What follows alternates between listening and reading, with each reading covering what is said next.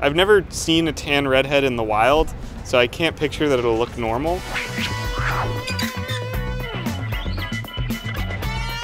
I've never gotten a spray tan. I haven't changed that dramatically ever in my life, so it'd be interesting to see what I'd look like with a different skin tone. I've always wanted to be tan because that doesn't really happen for me. I'm expecting to look orange and maybe match the color of my hair. I doubt my views on spray tans will be changed.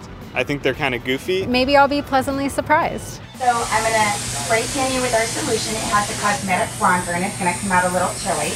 We got a little sun back here. Tickles a little bit. the cosmetic bronzer sitting on the top of your skin right now will rinse off. Oh, did I mention I want the like the low setting? so how many days is this gonna last? Five to seven days. Five to seven days. So this is a lot safer for your skin than a tanning bed is. I, I feel most uncomfortable just exposing my armpits this much. There it is. It's crazy watching the color just spray on and like seeing the line between the tans and the not tans. I mean, I can see the difference. Yes. Right down the side. Right down the side. So you are all ready to go. So can I just put my regular clothes back on? Yes.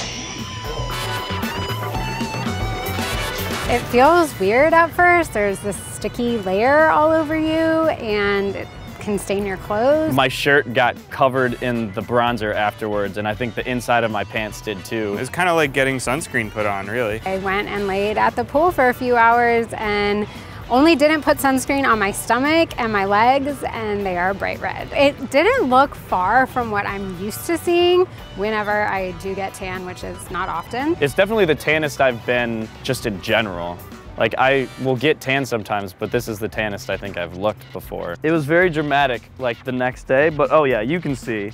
Definitely very, very white. Looking in the mirror like the next morning was pretty crazy. I just felt like I was like dunked in chocolate pudding. My armpit area, there's definitely like darker splotches here. Yeah, it's starting to fade where my watch is. This is kind of weird, but I felt like my nipples were too pink for the rest of my body. A lot of people said it looked good. They were like, oh wow, no, it looks natural. I don't know, I might consider doing it again. For me personally, like the the amount of stuff you're like not supposed to do when you have it make it not worth it. Yeah, it worked well, but there's nothing wrong with being pale, so I don't think everyone needs to be tan.